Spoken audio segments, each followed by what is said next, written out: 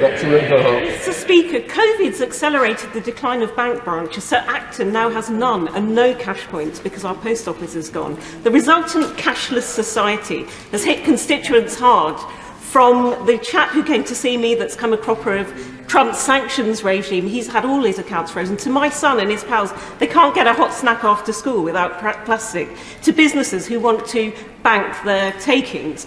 So can you please urgently look into this gross economic inequality that's hitting so many of all our constituents?